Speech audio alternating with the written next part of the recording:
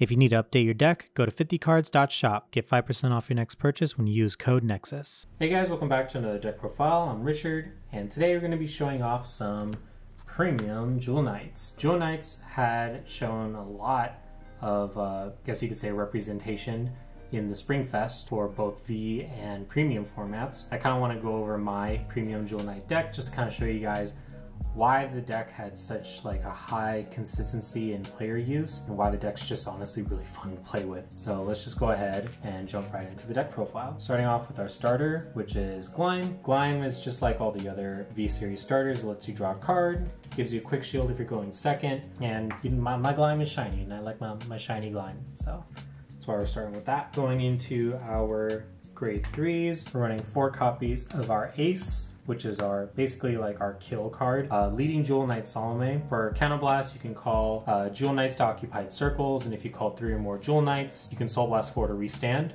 So that's the skill that you're going to copy with Crystal Luster, so you can restand your G unit and also call a board. And then the second skill is when a unit's placed on top of this, you can Counterblast 1 and give that unit 10k to drive. And because G units are units, and they are being placed onto the Vanguard Circle during the stride step, you can counterblast to give Crystal Luster an extra drive. So it's just a really, really good overall main grade 3 to ride. Next up for grade 3s for our normal units, we're running four of Ashley. Ashley is our attacking extender, so it's when it attacks, if it's on Van, you Soul Blast 2, you can search for two grade 2 or less Jewel Knights. If it's on the Rearguard Circle, you just choose search up for one, but even searching for one unit is still a really good extending attacker. That's the main reason we're using it. It has the ability to give a unit a crit if something's called on top of Ashley. We usually want to save the counterblast for other costs. Being used is the Soul Blast 2 to search out a grade 2 or less and call it. So now we're going to move on to our grade 2 normal units, starting off with the money card itself.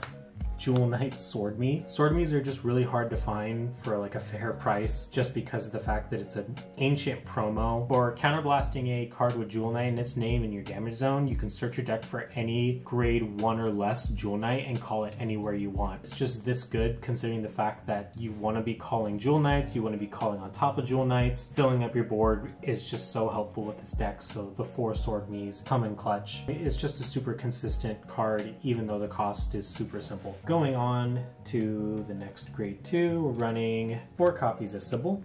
Sybil is pretty much my go-to ride target just because its skill works when units placed on top of it, so that includes your Vanguard. When something's placed on it, you look at top three, search for a uh, grade two or less Jewel Knight, and you can call it, put the rest go to the bottom of your deck. It also has another skill that when it attacks, you can put a grade two or less um, card from your hand and put into your soul to draw a card. So this also helps you fill soul when you swing. So if you need to fill up your soul for Salome's skill, you just swing, shove something in, draw a card. It's a good, uh, good filter card.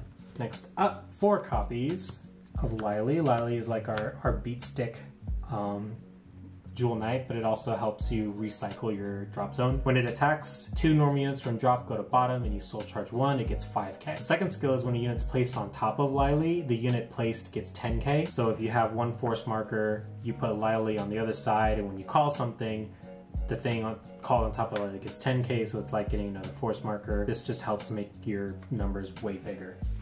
So that's it for our grade twos. Now we're jumping into grade ones. Four copies of Eunice, so Jewel Knights makes sense. Eunice is just such a great card because it just helps you gain soul and have cards in hand for Salome's skill.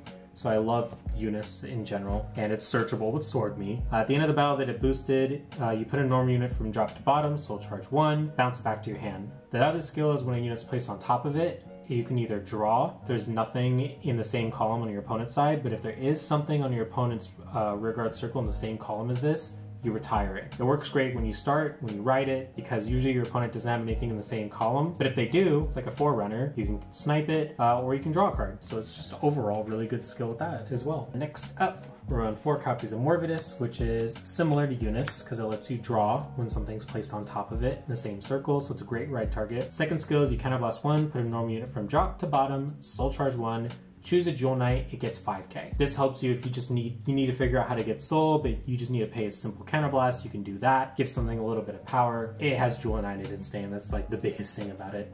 I am running four copies of Sisylas, and I know it's not a Jewel Knight. I know people really want to run four copies of the other grade one Jewel Knight, Christine, or they want to run like three copies of it. I just know that since we're going to be getting the new Jewel Knight in the next set, Sisylas is basically going to be going away, but Sisylas is still pretty helpful. So I feel like even then I would still maybe keep it at one just because, you know, the top five, look for a grade three is not bad. So it's still a helpful card even though it's not a Jewel Knight.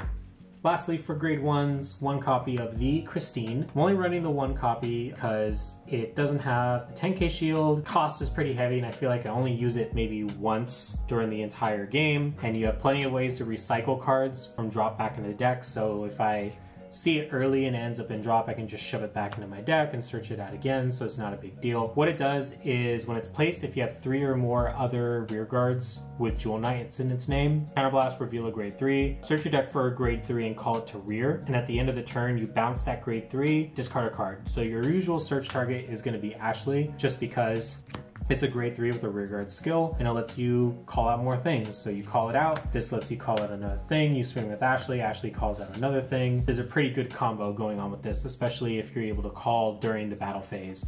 You can call it a Christine, and this lets you get another extender. So now we're gonna move on to our triggers, starting off with our over trigger, which is our, our Martinoa. The additional effect gives your rear guards drive checks. And since we are running grade threes that have rear guard skill, there is a chance that we'll have grade three rear guards, meaning that they will have twin drive. Heavy rear guards do more drive checks. So yeah, over triggers are busted. So now we're going into our grade three triggers. Innocent Ray Dragons, which is our heal guardians. Same as all the other ones, when it's placed on the guard, if you have not ridden to grade 3, you can either give your van 10k for the turn, reduce the crit of your opponent's attacking unit negative 2 to the end of battle, and then when it's placed on rear from hand, if you don't have any damage, you can put the top card of your deck in your damage zone, so you can have counterblast to work with. Biggest thing is that it's a grade 3 and it's a heal, meaning it's searchable, helps you pay cost for uh, G Guardians we're running our PGs. So I'm running four Flash Shield Salt, uh, I know some people are just uh, dropping down to three salt and then running the flashing Jewel Knight PG for their trigger lineups just so they have more Jewel Knight cards, which is a good idea. My only thing is that I feel like for the most part the deck is pretty consistent with the drop PGs. Drop PGs are just overall really, really good cards in general just because you damage them, it's a draw, you drive check them, you get a PG in your hand. So I just really like the fact that drop PGs lets you run other grade ones and leave you space in your lineup. For me, I like my, uh, my assaults crits, so I'm running four copies, a Sunflare Draco Kid. This is because a lot of times I catch myself needing Jewel Knights in my hand, and instead of discarding the Ashley or the Salome, I'll just discard the crit, just because getting into stride for Crystal Luster is really important for the kill turn, and keeping Jewel Knights in the hand is very helpful. So strike crit over the uh, crit that fills your soul, surprisingly, considering the fact how much this deck likes to soul charge. And then lastly, I'm running three of the Jewel Knight crit. Having extra Jewel Knights in the deck does help a lot. I feel like in terms of just my triggers, I wanted to maximize the Jewel Knight triggers that I could, that I felt like would make an impact to the game. And because this one has a skill, might as well run it. This one does, it's a 5k crit, uh, 10k shield. When you place it at the end of your turn, if you have three or more other Jewel Knight rearguards and you have a Jewel Knight Vanguard, you draw a card, put this back in the deck, shuffle. Since Salome wants you to call Jewel Knights, you can just call this from hand, and at the end of the turn, you're gonna draw and put it back in your deck anyways, so it's a good recycle card. And it has Jewel Knight in its name, so it's helpful for the Swordmy costs. So that's it for the main deck. Now we're gonna go into the fun stuff, which is the G-Zone. I am running four full-on copies of Crystal Luster Dragon. You do not need to do this. I think you probably can get away with just the two. Three copies I think is, is more than enough.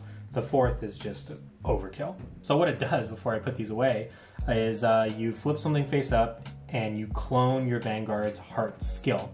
So you copy Salome's skill, do the restand and everything, and then continuing on that, continuous is GB3. If you have three or more grade two or greater units, your opponent has to call three at a time when they're calling from their hand. So anytime they guard from hand, they have to call exactly three cards. And because you're attacking one, two, three, call two things, four, five, six, maybe you have Ashley, seven, sets seven, six to seven attacks that they have to guard with three at a time. That, that's just going to kill their hand and or win you the game alone. That's why the Crystal Luster turn is just like the killer for Crystal Luster, just to make sure they're dead. Go into the new card, which is uh, Eo, whoa, Eolias. Divine Knight of Triumph Elogias. So Elogias skill is when it attacks, you counterblast one, turn anything, and you do some face up. Uh, you choose the same number of rear guards you have, and you draw that many cards. Then you call the same number of cards. So if you have three rear guards, you draw three, then call three. After you finish calling, if you have a total of five rear guards, you can acquire an imaginary gift force. Because you have, in order to fill the board, you have to have at least three. You are gonna lose a unit, but because almost every single Jewel Knight has an ability that says when it's placed, something's placed on top of it, you get an effect, you don't really miss out on anything. Especially since the grade ones are like, oh, something's placed on top, draw a card. It's nice to have a way where you can make a quick, easy board. Maybe you call a Swordmy. Sword Me gets you a one, and then you have a two. Counterblast one, or not even counterblast. Yeah, counterblast one, flip, draw three, call three. You filled your board. You have a good amount of hand, and you know you get a force marker. So you get two force markers during that turn. So and you swing and you have a board. So it's a good board filling card. That's why I do like it if I don't really have a way to set up for the Crystal Luster turn. So I do like to have it at least at two, just depending on the matchup. But usually I go in this to this maybe once and then I'll use it as flip fodder the other time.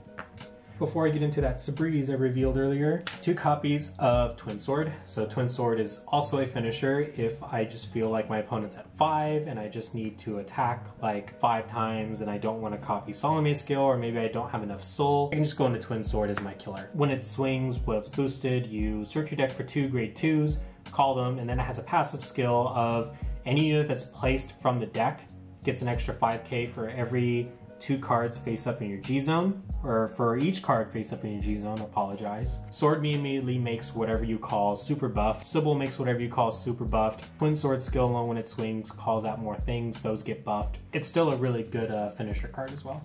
Now we'll show off that Sabreeze I uh, pulled out earlier. So my opponent is like, oh, I'm, I'm gonna side a grade, stay at grade two. I'm not gonna ride a grade three. You could do the Salome turn or you can go into Sabreeze. I like having the option. Usually this is just flip fodder just because all the Royal Paladin stuff lets you flip anything. Mostly flip fodder, but you can also use it to Counterblast 2. Your opponent didn't ride and they're on grade 2. You just stride it for Counterblast 2 discard. It's a vanilla, but it lets you stride and it lets you have something face up in your G zone so that, you know, start using those GB1s from Maskell and start getting into the GB3 of Crystal Luster, so it still helps. Um, next, one copy Agnos, just because similar to Elogias, calling things on top of each other benefits with Jewel Knights.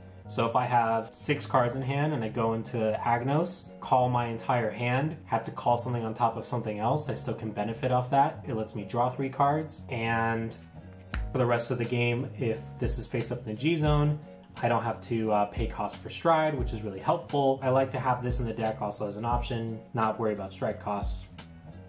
Helpful. Now we're getting to the G units, or the G Guardians I mean. The new one, the one that turns your grade 2s in the PGs. So what this does is when it's placed on guard circle, you pick a uh, rear guard grade 2, it gets 10k shield till the end of turn, and when it intercepts, you can counterblast soul blast and it becomes a PG. It, it's it's nice. My only thing is I wish it would give maybe the grade twos like resist or something just so that they can stay on the board. But I do like to have it as an option and there's a pretty large amount of space for G Guardians in the Royal Paladin G Zone. We'll work with what we got.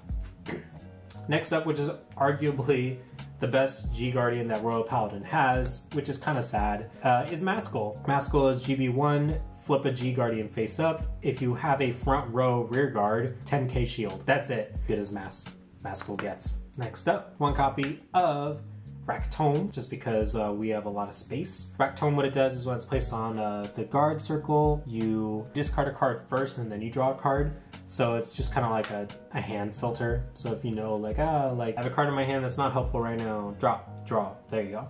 And then next is a really, really good G Guardian, which is Dismal. Dismal's ability is when it's placed on the guard circle, you pick a rear guard and it gets resist and cannot be attacked. So it's just kind of like pretty much safe, but this is just kind of help you guarantee that a specific rear guard doesn't get attacked or that your opponent doesn't just swing at your rear guards to damage deny you. So that's one thing you can do. You can go, ah, Dismal, now you, if you want to attack, you have to attack my Vanguard. That's pretty much it for the deck. It's really, this deck is just really, really wacky in practice just because of the whole fact that this card exists and it can copy Salome's skill and can even copy Ashley's skill. I've been having a lot of fun with this deck. My one gripe with it is that because of the fact that crystal lusters are so hard to find, and because the set's out of print, they're just really expensive. Bushiroad, if, if you're listening, please reprint all of like the premium collection 2019 and 2020 stuff because we want to try and get more players to be playing premium without them having to spend like three to four hundred dollars to build a deck. Yep, that's pretty much it for the deck profile. You guys will hopefully be seeing games of this in the near future. That's pretty much it. I'm Richard, and I'll see you on the next one. Bye.